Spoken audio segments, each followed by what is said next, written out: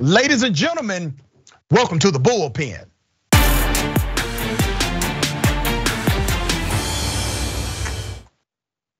Yep, in the bullpen today, we have Aaron Withe National Director of Freedom Foundation. Aaron, good day. Welcome. Rashad, thanks for having me on. Appreciate it. Thank you for being on the program. Listen, I don't want to presume what you know or believe about mask, mask mandates, or even the COVID 19 vaccine. So give us some of your thoughts uh, and your perspective as it relates to those. I think the first thing that we're seeing right now is uh, the mandates that are that are being pushed in schools. I don't believe that kids should be forced uh, to wear masks. I don't think that we should be forcing them uh, to be taught at home or even having half days. I believe that kids should be in school full time. I think that they should be not forced to be wearing masks. If they choose to wear masks, that's absolutely their choice. If the teachers choose to get vaccinated, that's absolutely their choice. But we shouldn't be having these Uh, broad mandates that affect a whole population of people. Let me ask you a few questions about that. So first, do you believe school boards, now typically anybody that passes a mask mandate for children, it is a localized school board empowered by the community of voters in that local area. Do you believe that school boards, one, actually have the legal authority to mandate masks for children? Yeah, I believe they do. Yeah, school, school board school boards should be the ones making these decisions, not uh, not governor's orders. So thank you for saying that. So let me tell you what's happening. school boards are saying we exercising our legal authority. We're saying that children need to have masks. Let me take it to Florida, for example. Right now, you have seven school districts in Florida, as of this morning, that have mandated masks, okay?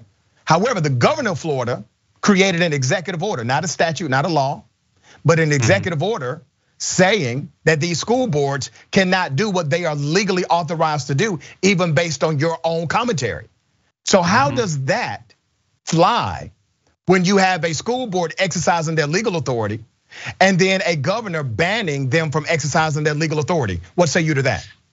Rashad, this is probably one of the few issues we agree on. I think that the executive orders coming out of any governor's office is completely wrong. It should be left to local school districts to make the decisions about what's best for their communities and their kids. I think that mandating uh, masks coming from governor's offices is completely wrong. If schools if school districts want to do it, that's their prerogative. They have the rights and the ability to go and do it. And, and uh, I don't believe in it personally. I don't think that kids should be forced to wear masks, but they absolutely have the authority to. I just don't think they should. This is really interesting because I, I dare say this, man. Your premise has significant intellectual integrity because you're saying you are. Why do you sound surprised when you say that? because I have debated some folks on that other side, brother. Their intellectual integrity was out the door in the first one minute. Okay, so right now yours is still intact. We'll see if that upholds throughout the entire debate. Um, so you're saying that yes, school boards do have the legal authority, which you're correct, they do, but you oppose it, and I assume you oppose it based on you know, probably a, a, very practical reason, maybe even an ethical reason as it relates to kids. But the issue is, and this has been an issue throughout uh, various Republican controlled states. The issue is these Republican governors are not simply allowing the local school board to make these decisions. Yeah, Rashad, as I mentioned, I think it's wrong that governors should have sweeping orders, but it works on the other side too. I live in a liberal state, Washington state, and uh, the West Coast has gone completely the opposite direction. We were framing teachers and nurses as heroes. You know, it's been both from the left and the right, we've framed teachers and nurses as heroes for working through the pandemic. But now you have governors like Inslee in Washington state and throughout the West Coast that are going to fire nurses and teachers for not taking a vaccine, for making their own independent healthcare decisions. And Rashad, you know these nurses know more than both me and you do do about COVID. They've been in the nurses, they've been in the uh, hospitals every single day fighting through this. They should, they know more than the governors do. They should be allowed to go and make their own uh, healthcare decisions without the possibility of being fired. As it stands right now in Washington State, we're going to fire tens of thousands of nurses and teachers for not uh, having a vaccine. Let me remind you of something because we're acting as if um, mandates for vaccinations are something new.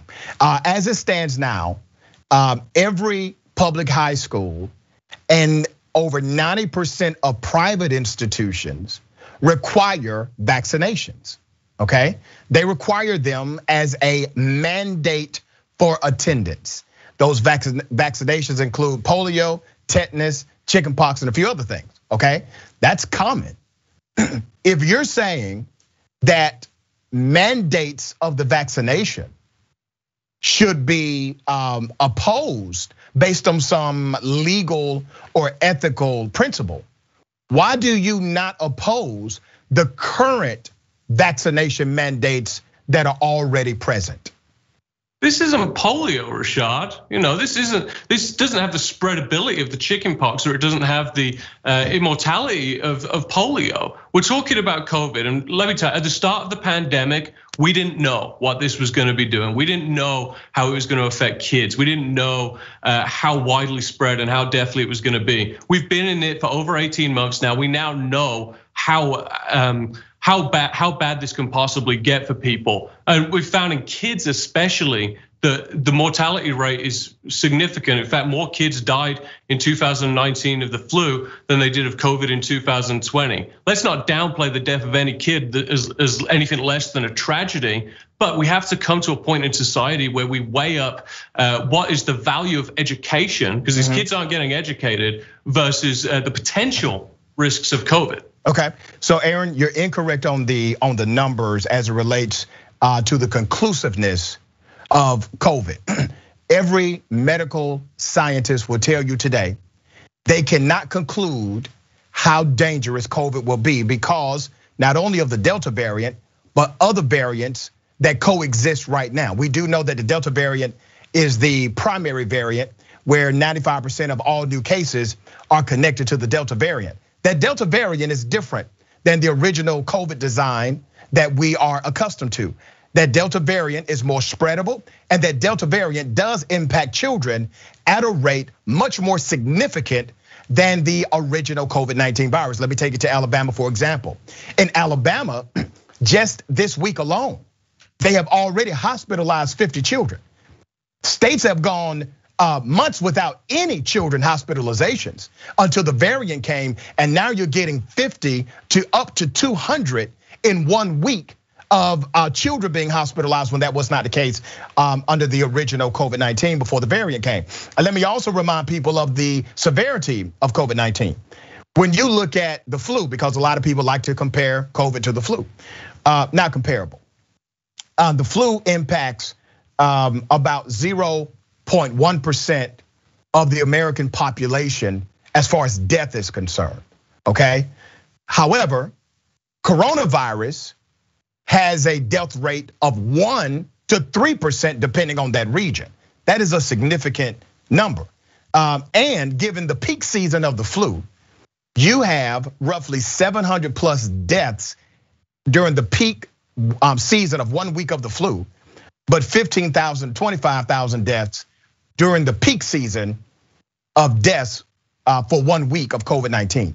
The numbers, brother, are not comparable here as far as the carnage it creates uh, in this country and beyond.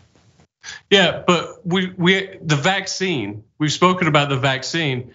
From everything that I've read on, on all sides of, of the media, the vaccine is doing an effective job of keeping people um, out of hospitals and it's keeping the uh, stopping them from dying. So can, can we agree on that? Yes. Okay, so it's, more effective have, than not having it. Correct. Okay, yeah. So if we have the ability to go and get the vaccine, and we as a people see the information out there and go make our own individual decisions. Right. People should be jumping on trains everywhere to go and get the vaccine, right? They should be going and making their their own decisions about what it is. But we were talking about kids in schools and uh, what's happening. And like I said, let's not downplay the death or the hospitalization of any child as anything uh, less than a tragedy, right? But we as as a society, uh, our education is failing them from top to bottom we know who which kids are being affected by COVID. It's the ones primarily with underlying health conditions. Uh, it's the one that there are more there are kids out there that are more susceptible to COVID. This should be the left and the right should unanimously unanimously be getting together and supporting school choice for all children now. Because if you have these kids that can't go into school because they have these underlying health conditions, we shouldn't be forcing them to. We should be giving them homeschool options. We should be giving them uh, limited class size uh, school options, but we're not doing that. We're, we have these blanket uh, statements and orders coming out of uh, primarily liberal governors' offices that affect the the broad scope of uh, of our kids, and it's yeah. all supported by the teachers' unions. Okay, so let me let me bring some things to your attention. Um, the U.S. military, uh, that's a particular profession you are mandated to receive certain vaccinations. Some people have to get up to 20, 20 plus vaccinations depending on their deployment. Uh, this has always been a reality. These things are mandated because you serve in a particular profession. Nurses also, um, they have to receive a certain number of vaccinations, depending, uh, sometimes even depending on their assignment, even if they work overseas or domestically. School teachers, Um, they are mandated to take or have records of the same vaccinations as mandated for the children to have. So let me get this right. Teachers already are mandated to be vaccinated. Nurses are already mandated to be vaccinated. Military officials are already mandated to be vaccinated. And if they do not obtain those vaccinations, they will be fired from their job. That is absolutely nothing new. So why is it new now that the potential of individuals, especially those who work in healthcare, Uh, getting vaccinated or not getting vaccinated. Why is that an issue now when the vaccination mandate has already been a protocol established for decades in that profession? I answered this. This isn't polio, and this doesn't have the spreadability of chickenpox. We know what COVID does. We know who it affects, and we know the people that are more. How do you know that when the scientists are saying they still don't know it because this thing is mutating at lightning speed, and now you have not only what, yeah, multiple variants. By the way, you have a primary variant known as the uh, Delta variant or DeSantis variant, and it could be another variant. All right, so you can't say conclusively we already know to the extent that this virus will Um, become or will be. We don't. We do. We know that the death rates amongst the kids. Scientists we know, say no. We know we know that younger people with no underlying health conditions are not susceptible to to dying or hospitalizations because of COVID. We know Let that. My wife that. is eh, here's no no here's the issue. Here's the issue. Yep. Our kids are not being educated. That's the problem. My wife is a public school teacher who hasn't seen a kid full time in school since April 2020. We as a society have to start educating our kids again.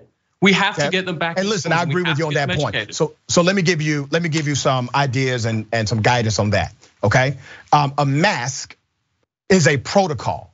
Socially distancing is a protocol. It's a protocol for safety. It's a protocol for in-person learning. When you don't do these things, and children start getting hospitalized and they start having severe respiratory problems and the virus continues to spread. Their parents have to take off from work. Their parents get COVID 19. Their parents go to work and give those individuals the COVID 19 variant, even though they have the vaccination. You see how it's all connected. All of this is connected. Now, the, the reality is that if you are a school teacher, brother, I was a high school teacher, I'm currently a college professor. Any teacher Thank can you. teach a young person with a mask on. That mask won't stop this education from happening. As a matter of fact, I know how to incorporate it into the lesson and curriculum that I am distributing to my young person in front of me. So a mask to a real teacher isn't anything. That is not a barrier to true education. Let me also remind people, we keep talking about they have, these young people have underlying health conditions. Well, number one, not all of them. It doesn't pan, the science doesn't pan out. Uh, many of them do, but not all of them. That's number one. Number two, it doesn't damn matter. It doesn't matter if a young person is walking around with some pre-existing condition that they may or may not know about. None of that matters. They are still children inside of the school system and they deserve our protection just as anyone else who does not have um, a pre-existing condition. We don't know everyone who has a pre-existing condition. They don't even know many times that they have some condition that may compromise because of COVID-19. So when we start playing this us and them game, with those who have pre-existing conditions. We almost act as if we should sacrifice them for the sake of those who would never catch COVID. And I say no. That is not how we work things in this country, at least not how we should work it, because those with underlying conditions, brother, they are still part of our overall group of young people. So it doesn't yeah. matter no, they are. We should absolutely be taking care of them. And you, you reiterated my own point is that we should have school choice for kids that, that are more susceptible to uh, going out and getting COVID. So what if they don't know? we can't hinder. We can't hinder the education of millions of students based on Thank you, thank you. We shouldn't be able to go and hinder these. And you, you talk about creating two sides of society: those that have underlying health conditions uh, and those that don't. That's exactly what we're doing with vaccines.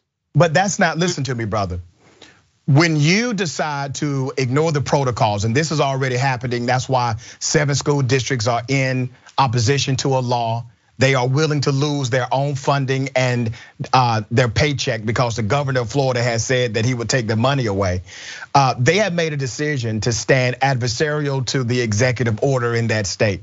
You have school systems, Clayton County and Georgia and others around the country, they're already closing up again. You know why they're closing up?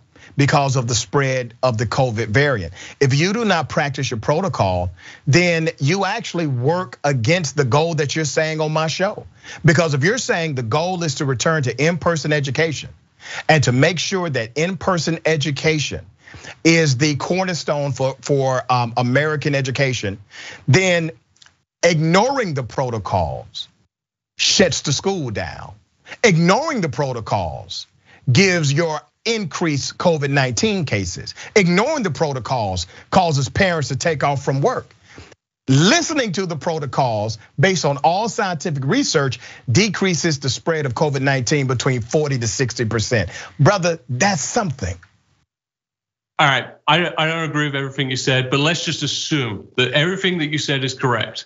Okay. Why can Obama have a birthday party with hundreds of guests, or I can go to a football game today with no mask, uh, with thousands of people in the crowds, but our kids can't wear, can't take their masks off in schools. If this thing is so, question. if this no, if this thing is so deadly, if this thing is so deadly, then why are people making these decisions? They shouldn't be, right? But this it isn't answer. that bad. Go ahead. Let me answer that question. We're running out of time, but I want to answer that question because I think it's a fair question. But the reason why you can do things that your children cannot do is because you're grown and they're children. The reason oh, why parents can make, you can parents wear, can make the oh, decisions hold on, for their brother. kids. Come on, Rashad, that's brother, listen to me. Listen to my full answer here. There are dress codes in school systems that you don't have to follow as a parent, but your your school children do. Those dress codes are there for them, not for you. And it doesn't matter if you disagree with the dress code. If the skirt is too short, that's a no-no inside of the school system. Okay? If the t-shirt is vulgar, that's a no-no inside of the school system. You can wear that clothing. You can wear that clothing all day, but there are different rules for our children in order to protect them and keep them safe. We have always established that in the United States of America, and all of a sudden we want to abandon that that centuries long ideology that says we do things in this country as adults for children to protect them that we ourselves may engage in differently. We can smoke, we can drink alcohol, all that's legal for grown people to do. That's not legal for children to do. So if you're telling me that children should be able to do everything that adults can do, have some mental intellectual integrity all the way through and say they can do whatever adults can do. Rashad, come on. I'm not going to say it's like saying that a kid should be forced to, to go and drink alcohol. Parents make independent decisions for their. Own. Do you think a child, if they wanted to drink alcohol, they should? No. Okay. No, I'm not saying. And you do think saying, there should be laws against it, correct? Yes, yeah. Uh, we're talking about alcohol abuse, absolutely. Because why are there laws against children drinking alcohol? Why? Because we have a proven science that says that 12 year olds that start drinking alcohol can can go on and have future problems and their minds aren't. And we have a proven damn science that if you wear a mask, more people live. No, we don't. Not amongst kids. We, this is the we know. listen, had. brother. Mask mandates decrease COVID. We know that. That's the science.